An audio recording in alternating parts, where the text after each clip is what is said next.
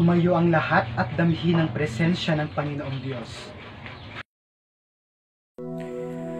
Panginoon, maraming salamat sa panibagong araw, gayon din sa lakas at buhay na ipinagkaloob ninyo sa amin. Ngayon po ay humihingi kami ng gabay at bukas na pag-iisip para sa isasagawang talakayan. Naway maunawaan po namin ang paksang tatalakayin sa araw na ito upang makatulong sa amin sa pagtatagumpay sa buhay. Bakuran po ninyo kami ng kapayapaan nang matiwasay po naming maisagawa ang talakayan sa araw na ito. Patawarin po kami sa lahat ng nagawang pagkukulang at kasalanan. Ang lahat ng ito'y magalang po naming hinihiling sa pangalan ni Kristo. Amen.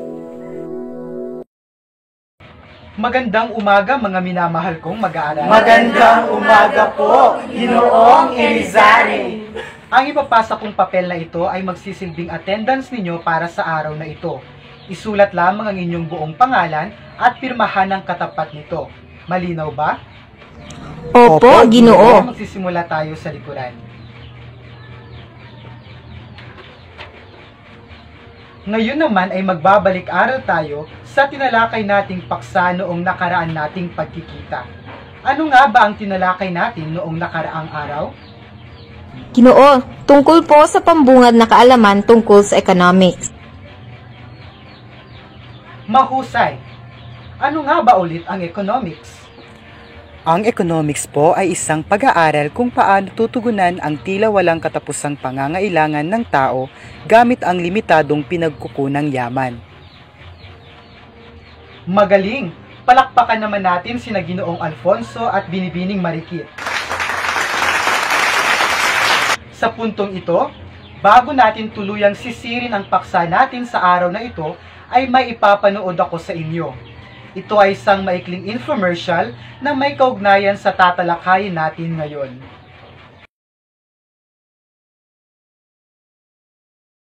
sa mundong ating ginagaya.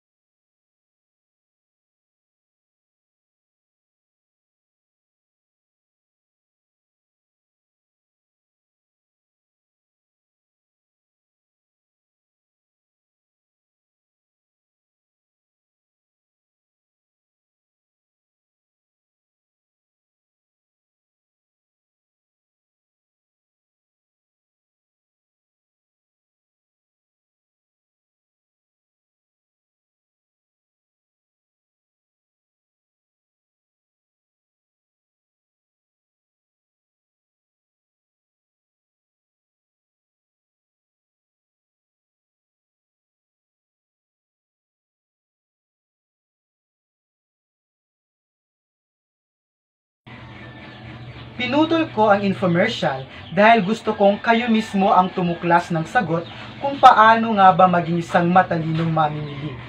Ngayon ay magtatanong ako sa inyo. Para sa inyo, paano nga ba maging isang matalinong mamimili? Ako po, Ginoo. Sige, ikaw liwayway. Kailangan po ay maging matipid. Magaling. Sino pa? Ako po, Ginoo. Sige, pakinggan natin si Pedrito. Dapat po ay inuuna ang mahahalagang bagay. Mahusay. Tama lahat ang inyong binanggit. Kaya naman maya-maya ay mas susuriin natin kung paano nga ba maging isang matalinong mamimili. Ngayon naman ay magkakaroon tayo ng gawain na tatawagin nating hanggang saan aabot ang limang daang piso mo. May pakikita akong mga larawan ng iba't ibang mga produkto na may kalakip na halaga ipagpalagay na mayroon kang limang daang piso. Gamit ang perang ito, ano ang mga produktong bibilhin mo? Isulat ang mga napiling produkto sa kalahating papel, kalakip ang presyo at kabuuang halaga. Bibigyan ko kayo ng tatlong minuto. Malinaw ba? Opo, Ginoo.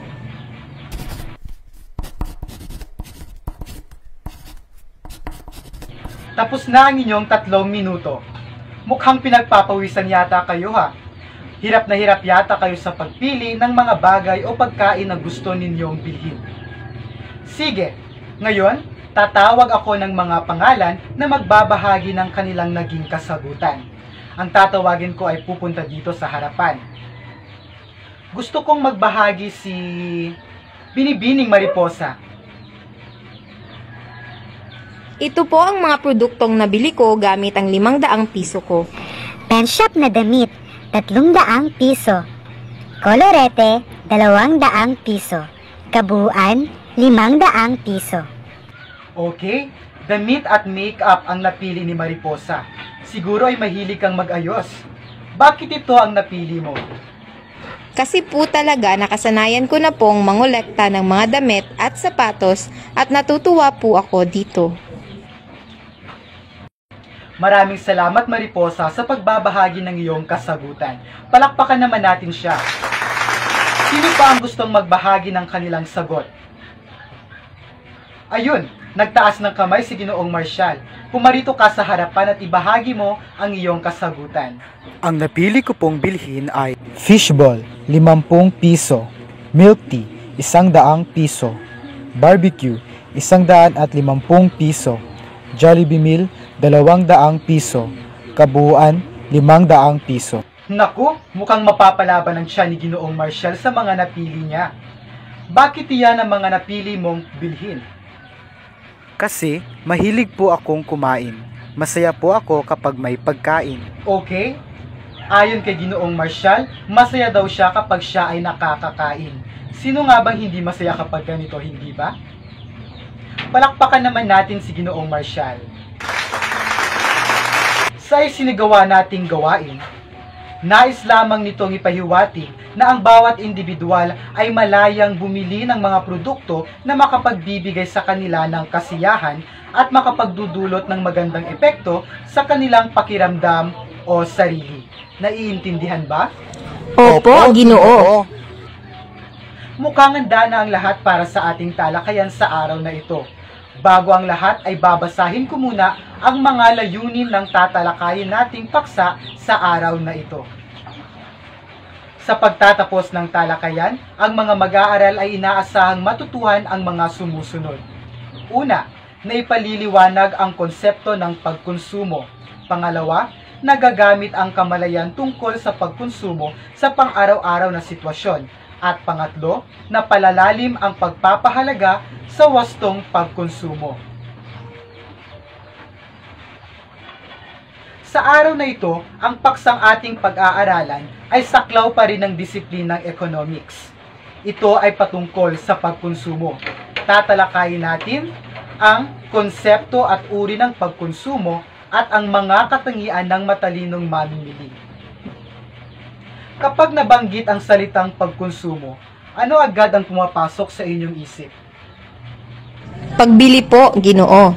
Tama? Ano pa? Paggastos po, ginoo. Mahusay. Ang pagkonsumo ay isang mahalagang gawain sa ekonomiya ng isang bansa sapagkat ito ay nagbibigay katuturan sa produksyon. Ayon nga kay Adam Smith, sa kanyang aklat na An Inquiry into the Nature and Causes of the Wealth of Nations, ang pangunahing layunin ng produksyon ay ang pagkonsumo ng mga tao. Ito rin ay tumutukoy sa paggamit ng mga produkto at serbisyo upang matugunan ang ating mga pangangailangan at magkaroon ng kasiyahan. Ibig sabihin pala ay nagkakaroon ng produksyon sa isang bansa dahil sa pagkonsumo ng mga tao bunga ng walang hanggang pangangailangan nila sa araw-araw. Binigyang diin din na bumibili o gumagastos ang mga tao sa araw-araw upang makamit ang kasiyahan o upang makontento. Ang pagkonsumo ay may limang uri. Ito ay ang una, produktibo. Ang pagkonsumo ay produktibo kapag ang isang produkto ay ginagamit o kinukonsumo upang makabuo ng iba pang kapaki-pakinabang na produkto. Ang sentro ng produktibo ay ang pagbili ng isang produkto at gamitin upang makabuo ng panibagong produkto na maaaring gamitin sa pansarili o sa negosyo. Sino makapagbibigay ng halimbawa? Ako po, Ginoo. Sige, ikaw, Alfonso. Halimbawa po nito ay pagbili ng tela at gawing damit o iba pang produkto upang mapagkakitaan o magamit. Mahusay. Isa itong halimbawa ng produktibo. Nagiging mapamaraan ng isang consumer upang makabuo ng panibagong produkto mula sa nabili nito. Umiikot at nagpapatuloy ang produksyon dahil dito. Katulad ng sinabi ni Alfonso, ang tela ay ibang produkto at kapag ito'y ginawang damit o iba pa ay makabubuo ng panibagong produkto na mapakikinabangan. Iba pang halimbawa ay ang pagbili ng harina upang gawing tinapay. Ang pangalawang uri ng pagkonsumo ay tuwiran. Ito ay tuwiran o daglian kapag ang taong gumagamit ay nasisiyahan kaagad o natatamo kaagad ang kanyang mga pangangailangan. Nangangahulugan na ang pagkonsumo ay may direktang epekto sa isang consumer. Kapag bumili siya ng isang produkto, ay natatamasa niya kaagad ang kasiyahan o ang pagiging kontento. Ano ba ang halimbawa nito? Sige, ikaw, Marikit. Sa tingin ko po ay halimbawa nito ay kapag nagugutom ka, bibili ka ng pagkain o merienda. Magaling! Kapag gutom ang isang tao at naisipan niyang bumili ng pagkain, ay agarang natutugunan ng kanyang pangangailangan. At dahil dito, ay nakapagdudulot ito sa kanya ng kasiyahan at kapakinabangan. Isa pang halimbawa nito ay ang pagbili ng bagong unit ng cellphone. Para sa ikatlong uri, maari mo ba itong basahin, Pedrito? Maaksaya. Maaksaya kapag ang pagkonsumo ay sobra kung ihahambing sa kaniyang pangangailangan o kagustuhan. Maraming salamat. Ang ikatlong uri ay maaksaya. Kailan nga ba nasasayang ng isang produkto? Kapag hindi po magagamit o hindi tama ang paggamit. Tama. Ano pa? Kapag sobra-sobra po, Mahusay. Sa pagkonsumo ay may nagaganap na pag-aaksaya ng mga produkto dahil sa labis na pagbili at hindi naman nagagamit lahat sa pangangailangan. Halimbawa nito ay ang labis-labis na pagbili ng mga pagkaing hindi naman kayang ubusin, kaya naman nasisira. Dahil sa mga ganitong gawain ay nawawala ang kapakinabangan ng pagkonsumo. Ginoo, iyon po bang pag-aaksaya ng tubig at hindi pagpatay ng ilaw sa bahay, maaksayang pagkonsumo din po ba yun? Magandang katanungan yan. Oo, ito ay isang maaksayang pagkonsumo pa rin. Dahil sa pagbibigay kahulugan ko nga kanina, ang pagkonsumo ay kalakip ang paggamit ng serbisyo. Salamat sa iyong katanungan. Ang pang-apat na uri ng pagkonsumo ay mapanganib. Nakapipinsala ang pagkonsumo kapag ito ay maaring maging banta sa kalusugan ng isang tao o ng consumer. Sino ang makapagpapaliwanag sa ikaapat na uri? ako po, Ginoo. Sige, paliwanag mo nga, Marshall. Ang pagkakaintindi ko po rito ay ito ang pagkonsumo ng mga produktong sa halip na makapagbibigay kapakinabangan ay kapahamakan sa sarili ang kaniyang makukuha. Magaling! Ito yung uri ng pagkonsumong nakapagbibigay kapinsalaan sa kalusugan ng isang consumer, sa ibang tao, at maging sa buong lipunan. Halimbawa nito ay ang pagbili ng o paggamit ng sigarilyo, ng alak, at ng mga ipinagbabawal na gamot. Walang ibang maidudulot ito kundi kapahamakan. Marahil aakalain ng iba ay makapagbibigay ito ng kasiyahan, subalit ito ay panandalian lamang. Maging wais tayo sa pagkonsumo mga bata ha. Opo, Ginoo. Ang panglimang uri ng pagkonsumo naman ay ang lantad. Ang pagkonsumo ay lantad kapag gumagamit lamang ng mga produktong mamahalin kapag may ibang taong kaharap o bumibili ng mga gamit na mahal kahit hindi naman kaya. Ang lantad na uri ng pagkonsumo naman ay tumutukoy sa isa pang negatibong pagkonsumo. Baka isa kayo dito ha, iwasan natin ito. Iyong bumibili ng mga produkto kahit mahal at hindi taman kaya para lamang may maipakita sa ibang tao na meron sila ng ganitong produkto. Magbigay ka nga ng halimbawa, liwayway. Iyon po bang pagbili ng mga mamahaling alahas para may maipakita sa iba kahit inutang lang naman ang pambili? Tama yun. May mga taong bumibili ng mga mamahaling bagay kahit hindi naman gaanong nagagamit o kaya naman ay para lamang ipakita sa iba na mayroon silang ganoong bagay. Tandaan na hindi masama ang bumili ng kahit na anong gusto mo. Basta't kaya ng budget mo at alam mong magagamit o mapakikinabangan mo ito. Naunawaan ba ng lubos ang limang uri ng pagkonsumo? Opo, ginoo. May mga katanungan pa ba? Wala, na, po. Kung gayon ay dumako na tayo sa susunod na paksang saklaw pa rin ng pagkonsumo. Ang pagkonsumo ay isang mahalagang gawaing pang-ekonomiya. Nagbibigay ito ng katuturan sa produksyon. Subalit kailangan nating mabatid na tayo bilang mga consumer ay may mga pananagutan sa pagkonsumo. At upang magampanan natin ang mga pananagutang ito, ay kailangan nating isaalang-alang ang mga mahahalagang katangiang dapat taglayin ng isang matalinong mamimili. Nice kung mag-isip tayo ng saglit at pagnilayan.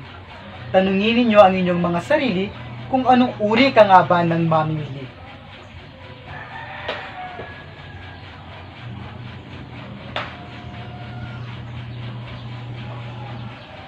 Ngayon, tatalakayin natin ang mga katangian ng matalinong mamimili. Makinig tayo ng mabuti. Ang unang katangian ay mapanuri. Tinitingnan ang sangkap, presyo, timbang, pagkakagawa at iba pa. Inihahambing ang mga produkto sa isa't isa upang makapagdesisyon ng mas mabuti. Sa pamimili, hindi masama ang pagiging mabusisi o yung tinatawag nating pagiging metikuloso. Dahil isa itong pamamaraan upang matiyak natin ang kalidad ng produktong bibilihin. Kaya sa pamimili ay huwag mahihiyang magtanong. Hindi rin masama kung ihahambing ang produktong iyong napili sa ibang produkto upang mas masuri mo kung ano ang mas maganda o mas mainam na bilhin na makatutugon sa iyong pangangailangan. Ganito ba kayo mga bata? O baka naman kapag inutusan kayo, ay kahit ano na lang ang makita nyo, ayun na rin ang bibilhin nyo. Naku, hindi po ginoo. Kapag bumibili po kami ay tinitiyak po namin ang kalidad ng produkto. Tama yon. Kaya tandaan natin ang katangiang ito. Ang pangalawang katangian ay may alternatibo. Marunong humanap ng pamalit o panghalili na makatutugon din sa pangangailangang tinutugunan ng produktong dating binibili. Isa rin itong mahalagang katangian na dapat taglayin at isaalang-alang ng isang consumer. Ano bang halimbawa nito? Sige nga Mariposa, magbigay ka nga ng halimbawa. Halimbawa po nito ay yun pong niyog na gagamitin sa ginataan. Kadalasan po kasi wala pong niyog na agarang nabibili, kaya naman po maaaring ipalit dito ay yung pakete pong ginataang mix. Iyon na lang po ang bibilhin at gagamitin. Ginutom ako bigla sa halimbawa ni Mariposa. Pero tama siya.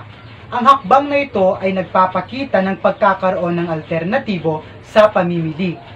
Ang produktong ipanghahalili natin ay iyong makapagbibigay ng katulad na tugon sa dating produktong binibili o ginagamit natin. Isa pang halimbawa ay kapag inutusan ka na bumili ng paborito ninyong tinapay, subalit na ubusan ng supply. Ang gagawin mo ay hahanap ka ng iba pang tinapay upang matugunan ang inyong pangangailangan. Ang pagkakaroon ng alternatibo ay humahasa sa ating pagiging mapamaraan sa pagkonsumo. Ang sunod na katangian ay hindi nagpapadaya. Laging handa, alerto at mapagmasid sa mga maling gawain lalo na sa pagsusukli at paggamit ng timbangan. Sa pamimili, bawal din naman iyong pagiging masyadong manhid na dumarating sa punto na hinahayaan mo na lang na lokohin o dayain ka ng mga tindera. Nakaranas na ba kayo na madaya sa pamilihan? Ako, opo, ginoo. Talaga? Anong hakbang ang ginawa mo? Kinausap ko po yung tindera na kulang po ang timbang ng binibili kong karning baboy. Nung una ay nagmatigas pa siya, pero tinimbang po namin ulit at doon po namin nakita na talagang kulang. Sinabi naman ng tindera na nagkamali lang daw po siya. Maraming ganyan sa lugar ng mga pamilihan. Kaya tama ang iyong ginawa na kinausap mo kaagad yung tindera. Dahil kapag pinabayaan mo lang, ay aabusuhin ka nila at ang iba pang mga mamimili at patuloy silang manluloko. Kaya maging alerto at mapagmatsyag sa pamimili, lalo na sa timbang, kalidad ng produkto, at maging sa iyong sukli. Dahil hindi lahat ng tao ay tapat. Subalit kung ikaw ay alerto, hindi ka maluloko. Ang pang-apat na katangiang dapat taglayin ng isang matalinong mamimili ay ang pagiging makatuwiran. Makatuwiran ang consumer kapag inuuna ang mga bagay na mahalaga kumpara sa mga luho lamang. Ang isang matalinong mamimili ay kailangang hindi isip bata sa pamimili, na mas inuuna ang mga luho o gusto kaysa sa mga pangangailangan o mahahalagang bagay na dapat bilihin at gamitin. Ang isang mamimili ay kailangang isaalang-alang ang presyo ng bawat produkto at unahin ang mga mas kailangan at saka na ang hindi gaano. Siguro may ilan sa inyong ganito pa rin, no? Maganda bang tularan ng ganitong klasing consumer? Hindi, po, ginoo. Talagang hindi. Lalo na kapag hindi naman tayo mayaman o maraming pera. Kailangan alam natin ang kahalagahan ng isang produkto at alam natin ang mga dapat, mga sakana, at ang mga hindi dapat bilhin. Ang pagiging makatuwiran ay pagpapamalas ng katalinuhan. Ang panglimang katangiang dapat taglayin ng isang matalinong mamimili ay sumusunod sa budget. Tinitimbang niya ang mga bagay-bagay ayon sa kanyang budget. Tinitiyak niyang magiging sapat ang kanyang salapi sa kanyang mga pangangailangan. Kayo, anong hakbang ang ginagawa ninyo upang makasunod sa budget? Sige, ikaw, Mariposa. Kapag namimili po kami ni nanay sa bahay pa lang, ay gumagawa na kami ng listahan ng mga bibili namin. Sa ganitong paraan po ay nagagabayan po kami sa aming pamimili at nagkakaroon kami ng ideya kung ilan po ang magagastos namin sa aming pamimili. Mahusay. Sa ganoong paraan din ay epektibong nasusunod ang budget at napaghahandaan kung sakaling magkulang ito. Kung anong kasya sa budget, ayun lamang ang bibilhin at siguraduhing may angkop na pera sa pamimili upang matugunan ang pangangailangan. Sabi nga nila, mas lamang ang handa. Ang pang-anim na katangian dapat taglayin ng isang matalinong mamimili ay hindi nagpapanik buying. Alam ng matalinong mamimili na ang pagpapanik buying ay lalo lamang nakapagpapalala sa artipisyal na kakulangan na bunga ng sobra-sobrang pagbili. Isa sa mga hindi dapat taglayin ng isang consumer ay ang pagiging matataranta sa pagbili dahil sa takot na baka maubusan. Ano nga ba ang epekto ng pagpapanik buying sa pagkonsumo? Maaari ka bang magbahagi, Alfonso? Ang nakikita ko pong epekto ng panic buying ay ang pagkaubos ng mga supply ng produkto at maraming consumer ang hindi makabibili lalo na ng mga pangunahing pangangailangan. Mahusay. Isa pa ay maaaring tumaas ang presyo ng mga bilihin dahil sa ubusang nagaganap. Dahil dito ay maraming mga consumer ang maaapektuhan. Kaya iwasan ang ganitong kaugalian dahil ito'y gawain ng mga makasarili at walang pakialam sa kalagayan ng ibang tao. Ang huling katangiang dapat taglayin ng isang consumer ay hindi nagpapadala sa anunsyo. Ang pag-e-endorso ng mga produkto ng mga artista ay hindi nakapagpapabago sa pagkonsumo ng isang matalinong consumer. Ang kalidad ng produkto ang tinitingnan at hindi ang paraan ng pag-aanunsyo. Saan ba natin kadalasang nakikita ang mga ganitong pamamaraan? Sa telebisyon at social media po, Tama! Ito ang mga pinakamalaking media na ginagamit ng iba't ibang kumpanya sa kasalukuyan. Naku, ang ganitong pag-uugali ay talagang talamak ngayon. Ginagamit ng ibang mga kumpanya ang mga sikat na artista upang i-endorso ang kani-kanilang mga produkto. Ngayon, kung hindi ka matalinong mamimili, ay agad kang kakagat sa produkto nila. Kasi Alam mo na sikat o iniidolo mo yung artistang nag endorso ng kanilang produkto. Subalit kung ikaw ay matalinong mamimili, higit na mas matimbang sa iyo ang kalidad ng isang produkto kaysa sa paraan ng pagkakaanunsyo nito. Tandaan na ang mga anunsyo ay isa lamang estratehiyang ginagamit ng mga kumpanya upang lumaki ang kanilang kita. Subalit hindi dito nakasalalay ang kalidad at kahusayan ng isang produkto. Kaya isip-isip muna bago bili. At iyon ang pitong katangiang dapat taglayin ng isang consumer upang siya'y may turing na matalinong mamimili. Mahalagang mapag-aralan natin ang konsepto ng pagkonsumo, maging ang mga katangian ng isang matalinong mamimili upang maging maalam at bukas ang ating pag-iisip sa larangan ng produksyon. Naway tumimo sa ating puso't kaisipan ang lahat ng ating mga napag-aralan. Isa buhay, isa alang-alang at pagyamanin ito upang maging gabay natin sa mundo ng economics. Batid kong lubos na ninyong naunawaan ang paksang tinalakay natin tungkol sa pagkonsumo. Kaya ngayon ay magtatanong ako bilang pagbalik tanaw sa mga napag-aralan natin. Magtatanong ako at gusto kong marinig ang mga sagot ninyo upang malaman ko kung talagang naunawaan ba ang ating talakayan. Ang unang tanong ay, ano ang kahulugan ng pagkonsumo? Nais kong si Pedrito ang sumagot sa tanong na ito. Ang pagkonsumo po ay ang paggamit o pagbili ng mga produkto o serbisyo bunga ng pangangailangan ng isang tao na nagdudulot sa kanya ng kasiyahan. Mahusay. Pangalawang katanungan, magbigay ng tatlong uri ng pagkonsumo. Pumili ng isa sa tatlong binanggit at ipaliwanag. Maaari mo bang sagutin ito, Marshall? Tatlo sa limang uri ng pagkonsumo ay ang maaksaya, produktibo at mapanganib. Ang mapanganib na uri ng pagkonsumo po ay isang negatibong proseso ng pagkonsumo dahil ang binibili ng isang consumer ay iyong mga produktong nakapipinsala sa kanilang kalusugan katulad ng mga alak, sigarilyo at droga.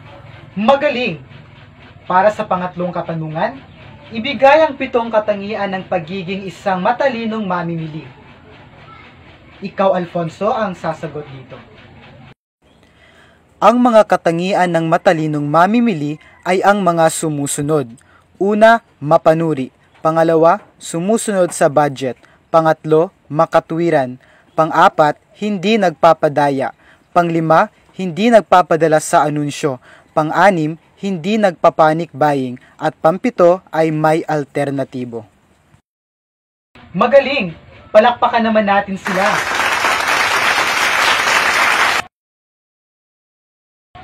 Sa puntong ito ay magkakaroon tayo ng pangkatang gawain bilang pagsukat sa inyong kakayahang magamit ang inyong natutuhan sa mga sitwasyon sa pang-araw-araw na pamumuhay.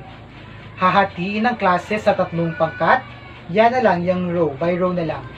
May pakikita akong mga larawan na may kalakip na sitwasyon o suliraning may kaugnayan sa pagkonsumo. At hahayaan kong kayo mismo ang gumawa ng paraan kung paano ito matutugunan. Magtutulong-tulong kayo upang makabuo ng solusyon sa sitwasyon o suliraning matatapat sa inyo. Pipili kayo ng isang tagapagsalita mula sa inyong pangkat upang ibahagi sa harapan ang inyong naging kasagutan. Sa pagtatapos ng gawain ay bibigyan ng kaukulang puntos ang bawat grupo. Narito ang mga rubrik sa pagbibigay ng puntos. Katatasan sa pagsalita, dalawampung bahagdan. Nilalaman o pangangatwiran, dalawampung bahagdan. Partisipasyon ng bawat miyembro, sampung bahagdan.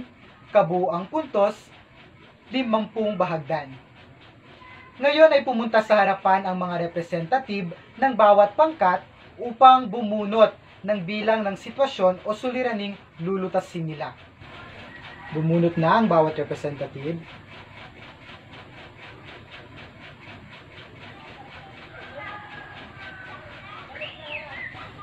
Para sa unang pangkat, Ang napili nila ay sitwasyon 3. Ang ikalawang pangkat naman ang nakabunot ng sitwasyon 2. At sitwasyon 1 naman ang sa ikatlong pangkat. May limang minuto lamang kayo upang pag-usapan ang magiging kasagutan ninyo at bibigyan ko lamang ng tig isang minuto ang bawat tagapagsalita sa pagbabahagi ng kasagutan. Malinaw ba? Opo, Ginoo. Ang inyong limang minuto ay magsisimula na.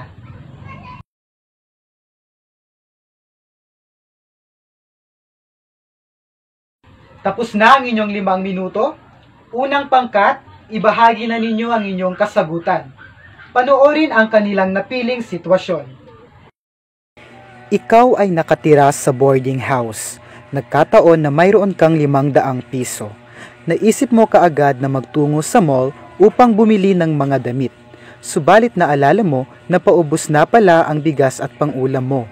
Anong desisyon ang gagawin mo sa ganitong uri ng suliranin? Ang gagawin ko po ay pagpapaliban ko muna ang pagbili ng mga damit at uunahin ko ang pagbili ng bigas at pangulam. Dahil alam kong mas mahalaga to kaysa sa ibang bagay. Mag-iipon na lang po ako para may pambili ako ng mga damit o ng mga bagay na gusto ko. Magaling!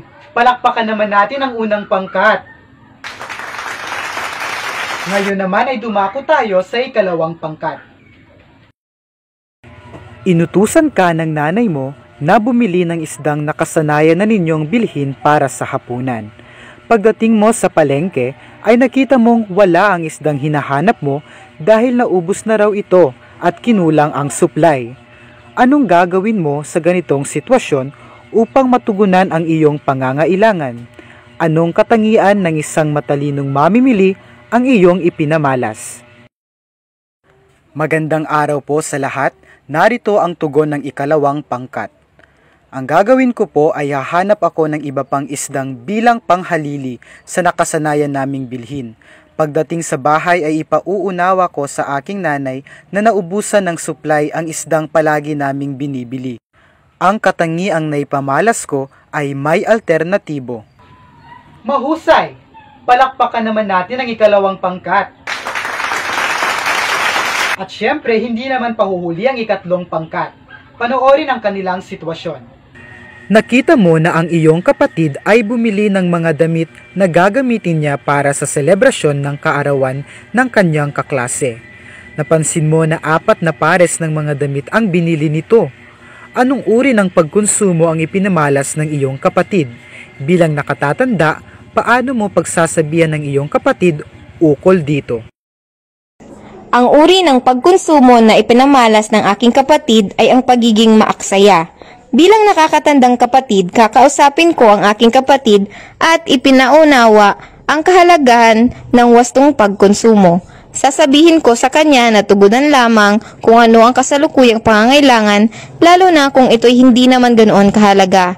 Sa sitwasyong ito, dapat ay isang pares lamang ng damit ang kanyang binili dahil maaari masayang ang iba dahil sobra ang naging pagtugon ng kanyang pangangailangan. Magaling! Palakpakan naman natin ang huling pangkat. Ang bawat pangkat ay nagpamalas ng kausayan sa pagdedesisyon at pagtugon sa mga suliranin. Palakpakan naman natin ang ating mga sarili.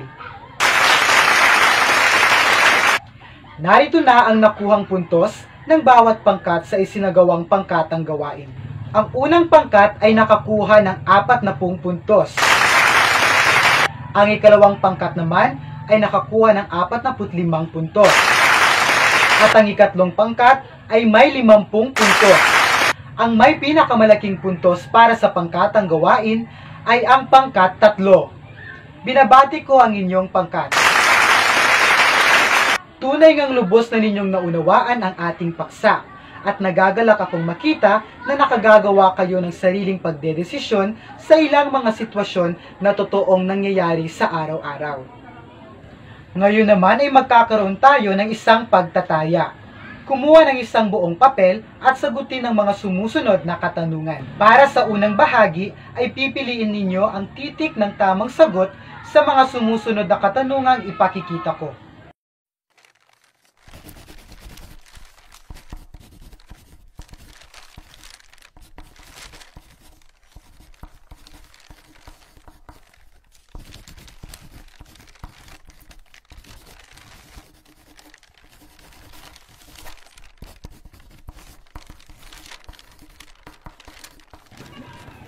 Para sa ikalawang bahagi, magbigay ng limang katangian ng matalinong mamimili at bigyan ng maikling paliwanag ang bawat katangian.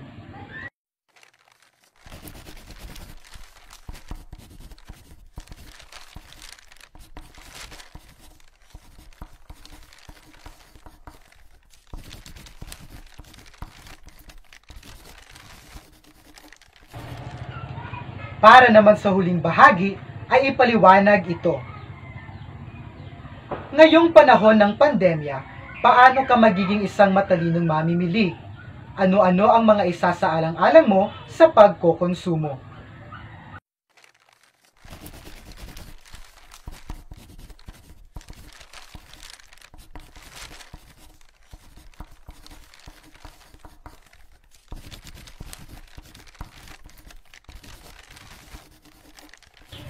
Sige, mukhang tapos na ang lahat, kaya naman ipasa na ang papel dito sa harapan.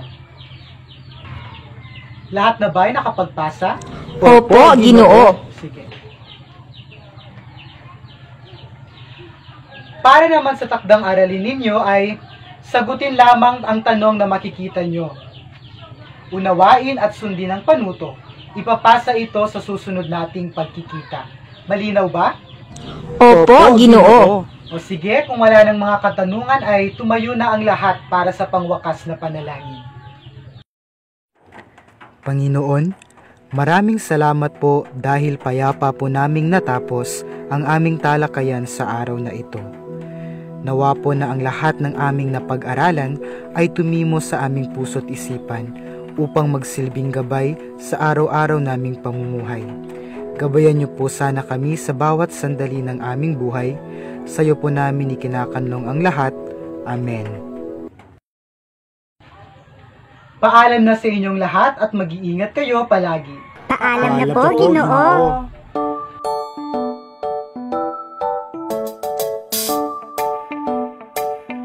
Paano ka naging siliwayway? Eh, si Kasi Mondragon ka. Hoy, cleaner ka ngayon! Hindi kaya Sino nagtago ng bag? Siliwayway ako sa Mariposa. Ay, hindi ako na. Para sabay tayo uwi. May dadaanan Uy, mag-assignment tayo sa bahay mamaya. Balita ko may bagong mga libro daw sa library. Ben, kain ka na ng kain. Bye, fish. Bye, Dad. Manunod pa ako dito sa drama. Tapos, hoy, sa classroom may batas. Bawal lumabas.